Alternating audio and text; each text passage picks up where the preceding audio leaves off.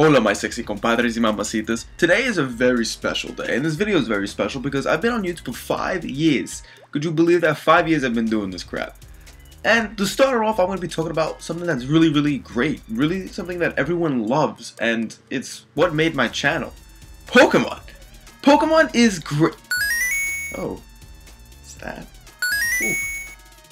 What's that? Okay, uh Hey, calm down. No need to be a scapagazon. I'll save the damn Pokemon video for another time. Now, to be fair, I was going to release two more Animal Crossing videos to my channel. They were the Tidbits and Tips videos. However, when I finished editing them, they felt bland. It was kind of like, oh, you know, eh, hey, this is how you get the Golden Axe. Whoopee, oh, hey, coconuts on your island. That's how you get a Galactic Beetle, Goliath. God forbid I mispronounced something. So, when I when I was looking at my old channel, because I, I, had to do the copyright claims and all that stuff because they took down my Wind Waker and Link Between Worlds walkthrough, system that YouTube is, I saw my original Pokemon is Awesome series and my Mega Man is Awesome series. My Blank is Awesome series, which is my favorite series that I brought to this channel. I basically get to talk about why I love a game so much and why I think it's awesome. So I said, yeah, you know what? These fans deserve a good video. They deserve something edited amazingly. So, you know what? How about I give them Animal Crossing is awesome. So this is going to be a restructured video of the Blank is Awesome series because the Pokemon one was like kind of like a rant and then the Mega Man was just God forbid that was a mess. Yes, part two is coming. Part two, I'll explain at the end of the video. Anyway, so guys and gals, mom, compadres, mamacitas, anyone who's watching this video, I present you why I think Animal Crossing is an awesome game. The Anim Animal Crossing is awesome. Bada bing, bada boom. Hey, kiss it easy. Arriba!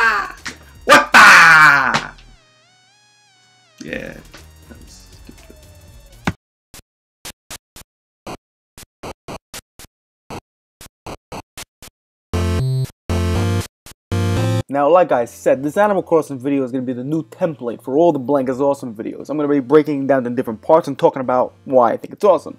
I'll talk about the game in a few categories such as history, story, setting, music, characters, gameplay, and the last thing I'm going to be talking about is the personal memories I've had with the game. That part is going to be completely unscripted and staying true to the original video I've done because I feel when I do something unscripted, it, my emotions come out a little bit more. So, what I do is the history part of Animal Crossing. Back in the early 2000s, Nintendo was really pushing for the 64 Double D drive, and a game produced by Takashi Tezuka called Animal Crossing, or should I say, Dobutsu no Mori, or just Animal Forest, was a game that would be perfect for it. Since the Nintendo 64 Double D drive had a way to utilize a real-time clock for the system, the game relied on it. However, time was ticking and the project just went to the Nintendo 64, and that was the end of the Nintendo 64 era. So Japan said, you know, this really is not going to get much sales on the 64, so let's move it to the GameCube and just name it Animal Forest Plus. And they said, hey, let's try it in the Western market. Let's see how people might like it. Before that happened, the game had to be heavily translated from Japanese to English. These translators worked their asses off because there's a lot of Japanese characters. However, they said this game is a little too Japanese for the uh, Western audience. Let's spice it up, add a little bit of Christmas, Kwanzaa, all the good stuff. And they released it as Animal Crossing. This game was a hit in the United States. On Animal Crossing for Nintendo GameCube. Nice outfit. Where'd you get it? A garbage dump? Uh Nintendo Japan was so impressed by the results of the translations done by the Nintendo of America's Treehouse division that they said, hey, you know, how about we borrow your game Animal Crossing and we take it back, we retranslate it back to Japanese and release it to the Japanese audience as Animal Forest E+. Plus. You know, the e-reader thing that no one bought? Anyway, it was released in Japan in June 27, 2003 and it sold 91,000 copies in the first week of its sales. Being that Animal Crossing sold so well, a few years later for the Nintendo DS, Animal Crossing Wild World was released in 2005. This was the first game of the series to utilize the Nintendo Wi-Fi connection. This was a great thing for the series because previously for multiplayer you had to switch out the memory cards of your GameCube and you couldn't simultaneously play with your white friend. They couldn't like you couldn't be in the same village. There was only one person at a time. Now with this, it's Wi-Fi. You can go to their town and play with them. They can go to your town. It was really really great. After that, knowing that the Wii was owning the gaming market seriously, that thing was selling like crazy. Nintendo wanted to capitalize this, and they made Animal Crossing City Folk in 2008. However, this didn't sell that well because it was during a very close time that Wild World was released.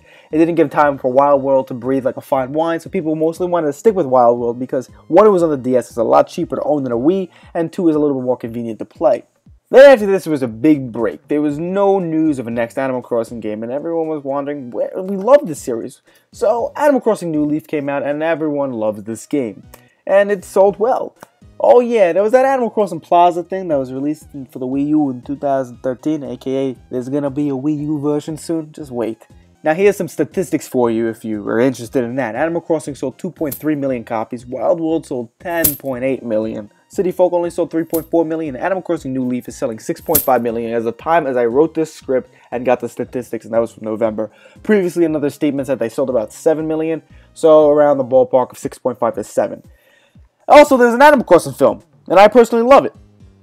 So if you want to go check it out, type in the Animal Crossing anime film. It's a great film. It's cutie. It's all that stuff. And oh yeah, the village is going to be in Super Smash Bros. Animal Crossing has come a long way in history. It came from a simple game to actually being featured in an anime film, and now it's going to be on the biggest stage of them all, Super Smash Bros. Hopefully, that when people see Super Smash Bros. and never seen an Animal Crossing game before, they'll be interested because this game is truly great. there's really no story for these games. Animal Crossing has no lore or anything. It's a community simulation game. They all start mostly the same way. The player, aka you, is moving into a new town to start his new life, or her life. Animal Crossing New Leaf is a little bit different because you suddenly become mayor when you move into your new village, however, they all play the same. You get a house which you slowly pay off, you collect bugs and fish to either put in the museum or to sell for bells, the currency in the game, make friends, do some mayor duties in New Leaf, which I'll get into later on, and just have fun. The story is your own story. Now let me tell you something, the music for Animal Crossing is superb, and you know why? It's composed by a very, very, very famous Nintendo composer, Kazumi Totaka. This guy did this little beat, Totaka song, you know, the little mysterious theme that's hidden in a lot of Nintendo games.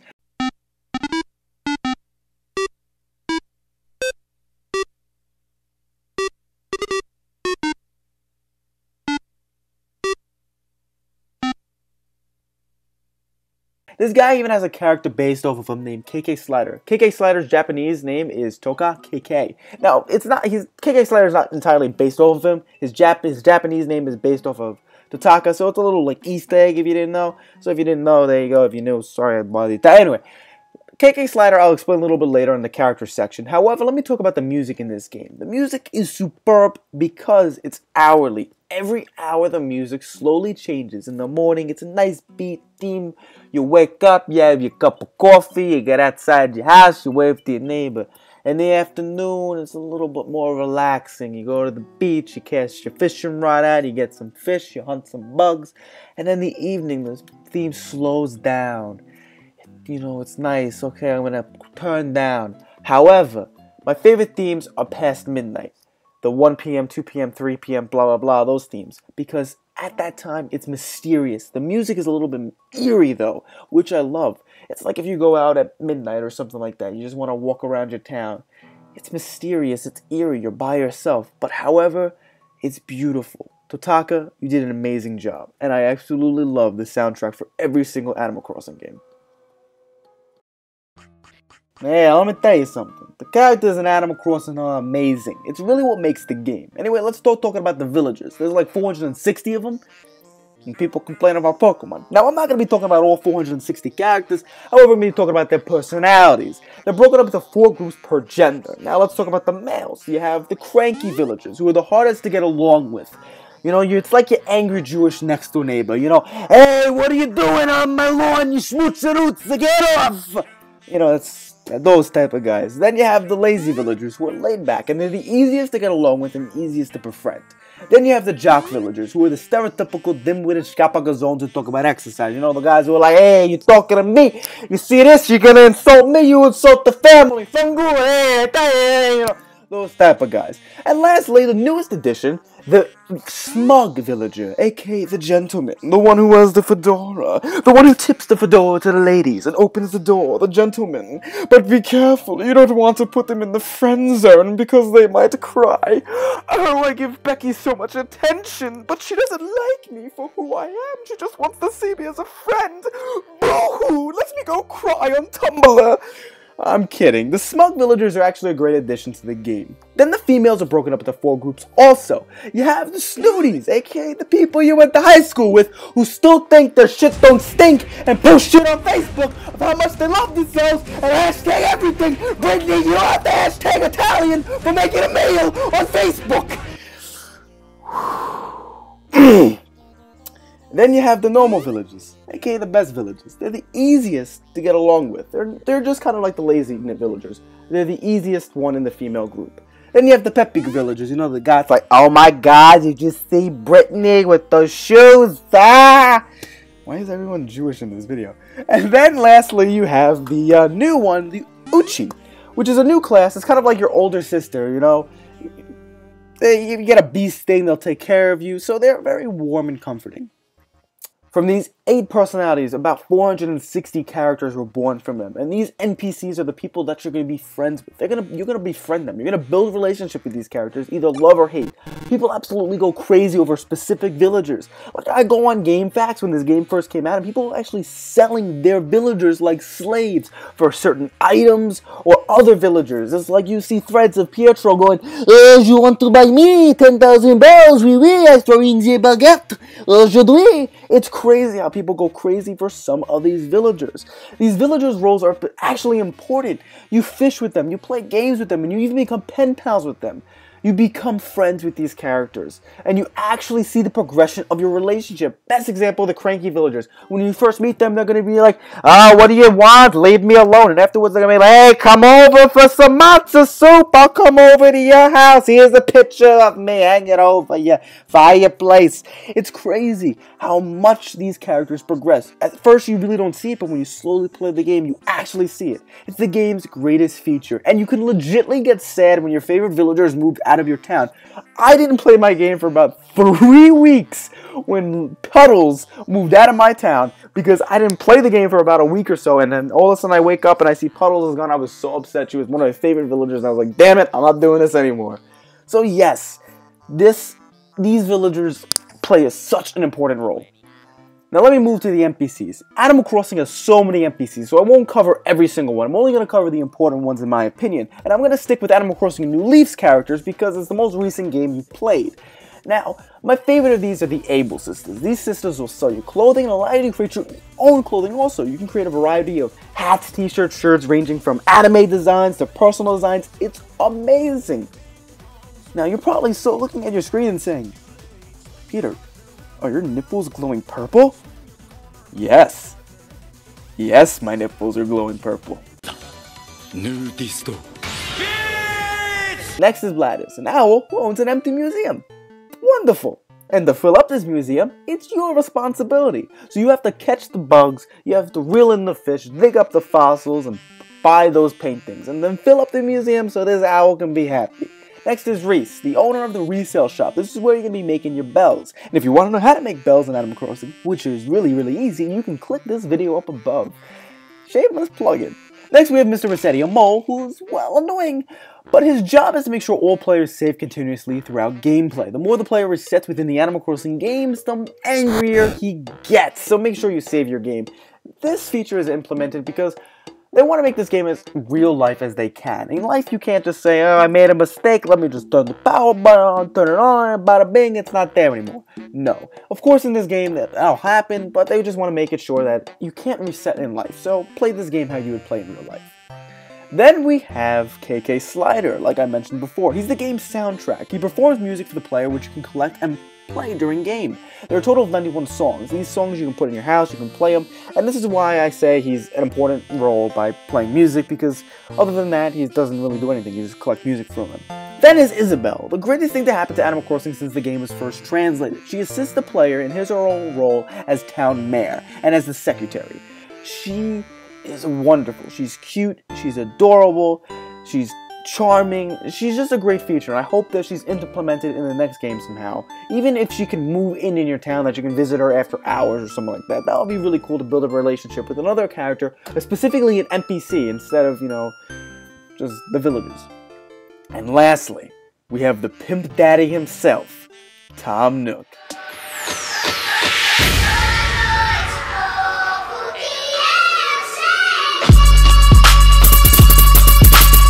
People think he's a bad guy because you owe him money, but he's not. The co-director of Animal Crossing, Aya Kyogoku, says he doesn't force you to pay, it's your own choice to go into debt. We think he's very misunderstood. He's passionate about his business. He's not a loan shark. He doesn't add a handle fee or anything like that. He waits as long as it takes to pay him back. He's not bad as other people might think of him. In games linked to Animal Crossing New Leaf, he owns the town shop where you can buy and sell items. In New, New Leaf, he owns a shop called Nook Homes, a real estate place where you can buy supplies to customize your house, like certain fences and stuff. His two nephews now own the shop where you will sell your goods and stuff. That's pretty much a quick summary of all the characters you'll see in the game. I can go on for days just talking about the characters, so it's best if you play the game and experience them. However, I'm not gonna lie. Nook, he's a pimp daddy. Now let's just say you have a fresh brand new copy of Animal Crossing, and as soon as you open up your game, you're on your way to a new life, and you're traveling by cab, bus, or train. Most of the time you're greeted by a rover, which will ask you a few questions, will determine the look of your character, and after that you're onto your new town and your new life. You're gonna settle down, find your house, and after that you just need to pay off your mortgage and it's yours. Like I said, there's no real plot to this game. There's no you win or game over. You play it at your own place. You could earn money by selling items, fish, or bugs. You could run around and plant flowers and trees, shake those trees, fish, play games with your fellow villagers, go for a swim. It's a very relaxing game. My foreign father even knows how to play this game. And that's the guy who used to think that Wii boxing was you had to punch the person next to you with the Wii remote. Most of the games are the same. You have holiday events, you have events with your villages, you have events with Isabelle. However, New Leaf, a new feature was added the mayor. You set the town ordinance and you create public work projects. And the public work projects is a little spice for your town. You can add windmills, you can add flower clocks, gardens, and such. And it's a small way to improve your town and make your town your own unique creation. These are all managed in Town Hall and the mayor's office. Other than that, the gameplay is pretty much the same. There's no difficult controls, there's no quick time events. It's a really easy game that you can pick up and play for hours, and I highly recommend it. Now guys, this is the unscripted part of the video called the Personal Memories, and I want to take you to the original video of the Blank is Awesome series, which was Pokemon. That video was completely unscripted. I had a lot more fun rather than reading a script. And this part, you can actually see, since it's unscripted, you're going to see a little bit more emotion, because I'm talking from my personal memories rather than reading from a script. So let's talk about Animal Crossing. My first memories with Animal Crossing was for the GameCube, and that was the original game. I don't know when I got it. It was either during uh, Christmas or my birthday, but I do remember my mom buying it for me. And we would have so much fun with the game. We would sit down for hours and catch bugs, and we would catch fish, and we had the Prima guidebook, so uh, we would have to check off each fish we had or each fossil we got and donate it to the museum. We paid off the mortgage, and I, I don't want any of you complaining on it. It's hard to get bells and New Leaf because play the original Animal Crossing game. It's a nightmare to make money in that game. After you finish paying off your mortgage, you get this like golden statue. It was a real accomplishment, and I just love those memories with my mom. And I'm a mama's boy, so if any of you cabrons want to say shit, go ahead. I really don't care. So uh, then after that, uh, we we uh, we just had a lot of fun with that. And then a few months later, uh, we went to uh, GameStop to buy buy a new game for me or something like that, and I saw the action replay for that game. And the action replay, for, and I, I don't like cheating devices. I don't think they take the fun out of the game, but I really wanted to see because we beat the game, so let's have a little bit more fun. So we got the cheating device, and how to do this? You had to uh, you had to take the disc, you had to put in the game, you had to select your codes, and take the disc out and put the Animal Crossing disc in really, really fast, and then it would just overwrite the game. It was really, really cool. So we did like the uh, unlimited bells, never have to deal with Mr. Resetti, and then we did the Nintendo items, and this had like a warning label like on it. So I was like, okay, maybe it's gonna corrupt the game, something like that. So I clicked it, and then all of a sudden you get all the Nintendo items. There's like flagpoles for Mario, but I think the best part was the Nintendo Entertainment System games, the NES games inside the game. There was Zelda, Mario, and then there was Punch Out. Me and my mom played Punch Out for days. We played Animal Crossing in order to play Punch Out after we beat Animal Crossing. And we were trying so hard. We go through Glass Joe. We go for everyone. We'd have to. We we could never beat Mike Tyson. He was the hardest guy to beat. And back then there was really no like YouTube or anything, so you couldn't go up online and look everything up. You know, the internet was uh, iffy, so it was really really hard to actually get help and tips and stuff. So you had to like you had to actually physically play the damn game in order to get better. We had so much fun with that. A few years later, then um, Wild World came out, and my cousin Gabby. I don't have any brothers and sisters. I'm an only child, so me and my cousin are really really close. So my cousin Gabby, uh, we go to Connecticut every summer, and uh, we play Animal Crossing in the morning and in the evening. At the end of the summer vacation, uh, she got me a little gift inside the game as a thank you, and it was the pilot's cap. And my town never had this, and I'm a pilot. I'm currently in uh, aviation school, and next I'm going to med school. I'm gonna be in school until I'm 30. But uh, other than that, uh, I was so happy because I got the aviation, you know, the, the little pilot's cap. I got it from my cousin. It was really, really it was a great little gift. And uh, if I open up my Wild World game, I still have the hat on. Uh, then City Folk came out. I don't have a lot of memories with City Folk. Um, I was really, really excited for the game though because um, I'm from Long Island, New York. So taking the city, I would just take a long. I would go to go to the city. I would just take the Long Island uh, Railroad, which is five minutes away from my house by walking. So I would always go to the city, always have a fun time. So uh, my cousin Gabby didn't have a Wii though, so I couldn't play with her. But I played with a few of my friends, and then there was this like voice box thing you'd put on top of your Wii, and you could actually talk back and through them, like kind of like Xbox Live. But I didn't have an Xbox then, so I didn't know about it. It was the coolest damn thing to me.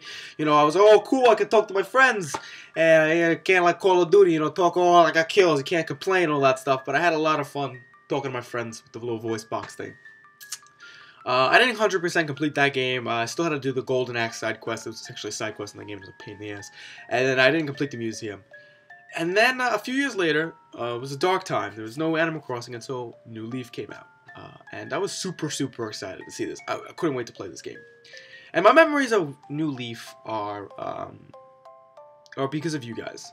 When the game came out, uh, I started this new channel, and uh, I decided, what can I make for Animal Crossing? Maybe I can make something really quick. Maybe a Blank is Awesome video. Ah, it's going to take a little few times, so let me do something really quick. Maybe a Tidbits and Tip or something like that. So I was thinking of names and everything. And I made the How to Make 2 Million Bells, and that thing blew up. And then I made How to Make Your Villagers Move, and that thing blew up. How to Clone Items, and that blew up. And then more Tidbits and Tips, and that blew up. And it was great. And if you guys don't know, all the money I make on these videos, I make about 200 to 400 a month, good months and bad months. Every single penny I make, I donate to Alzheimer's, or I donate to another charity. I keep none of the funds. I would sacrifice everything I have my soul, my house, everything just to make other people happy. Just to find a cure for Alzheimer's. If that can find a cure for cancer for Alzheimer's, if I can rip out my heart and offer it to any higher being there is, just so they can give you a cure, I would do it. And guys, making those videos really, really helped me out a lot for a cause. I am now, where is this little card? I had it on my desk before. Ah, there it is. If you guys didn't see this previously, but now I am a 2004 champion let's see, the, the damn, there we go. I'm a 2004 champion for the Alzheimer's Committee. I've donated enough money that they consider me champion status. I have a little card and everything, and it's really, really great. I really, really thank you guys. I've had a lot of memories with Animal Crossing. I can go on for days, and this video originally, when I first recorded this, it took about 12 minutes, and I can't fit this in the video. But I have a lot of memories with Animal Crossing. If you haven't had a chance to play Animal Crossing, go play the original one, or Wild World, or City Folk, or just play all of them. Guys, I really love Animal Crossing, and this video shows why I think Animal Crossing is awesome. Thanks for watching. Compadres y mamacitas, once again, thank you for watching this video. Like I said in the past, when you watch this video, money is made. That money is automatically donated to Alzheimer's research. At the end of the month, I keep none of the funds, and I play for charity. Finally did it, guys. I finally did the Animal Crossing video, so it's your last Animal Crossing video for a while. So you Animal Crossing fans who only just like the Animal Crossing videos, if you want to check out my other videos, but until there is going to be a Animal Crossing new game, I'll, that's when I'm going to cover it. I'm going to do actually a 365 day walkthrough of it, so every day you're going to see a new thing for the whole entire year, so it's going to be interesting. Uh, but that's in the future, and uh, talking about the talking about other videos, uh, Mega Man Zero is awesome. How I said I was going to talk about it. Uh, how I'm going to do that video, how I'm going to do part two, is I'm going to restructure that video, how like this video is structured, so character story, blah, blah, blah, personal memories. That's going to be all to one video, so part two is going to be the revamped version of it, so it's part one, part two in one video, so it's not a complete mess, it's going to be a little bit restructured, a little bit better. For uh, charity-wise, uh, starting off uh, this year, we're actually started at about $500 so far for Alzheimer's. That's from January to February. I haven't done March yet, but I think I've got getting around 300 or something like that. So, and the funds are doing really, really good. Uh, since I'm big with charity, if you haven't noticed, my hair is a little bit shorter. I actually shaved my entire head for uh, children cancer. Uh, for St. Baldrick, I raised a few hundred bucks uh, with family members and such and friends, and now it's shorter. Hair grows back, so I mean, why not? If it helps someone else in the world and it's no harm to me, why not do it? Uh, like I said, for every new video that I'm going to be doing, I'm doing a shout out. If you want to be entered into a shout out, just send me your video stuff and tell me if you want me to check it out or stuff, if you want me to give you tips or anything. And if I see that you're a YouTuber and you want to get a shout out, hey, well, I'll give a shout out. I don't mind. It's YouTube. I want to help everyone else out. That's my philosophy. So, uh, but this uh, this video we have three special guests. Uh, the first one is my good friend and best friend Brandon. uh, or he goes by Kokiri Xavier. His plan is to do every single Zelda game and do every single walkthrough. Uh, he's starting out now. He's taking a little bit break because he's doing college, but he's going to have videos out soon. His channel right over here. Then we have Lugia Dialga. She is a great Pokemon remixer and does other stuff. She is a very sweet girl.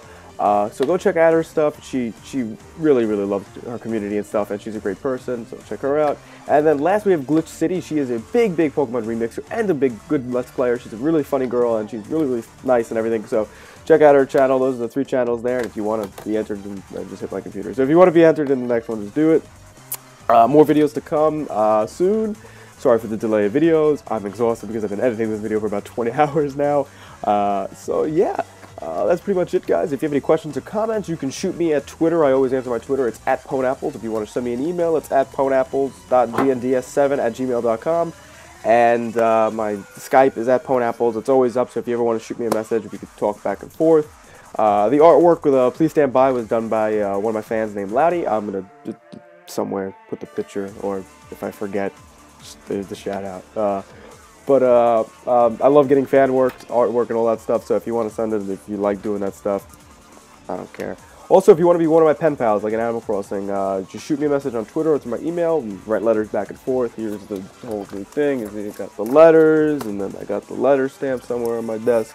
I got the wax. I send you a nice letter. You shoot me a letter. I send you back a letter. Uh, the pen pals waiting for their letters. Uh, they'll be sent out either tomorrow or sometime. Uh, but other than that, this being way, way too long, like always it is, uh, that's pretty much it, guys. So uh, I probably forgot like 20 things that I say, but oh well. I really had a lot of fun doing this video. I really love you all, you guys, and uh, stay sexy. Adios.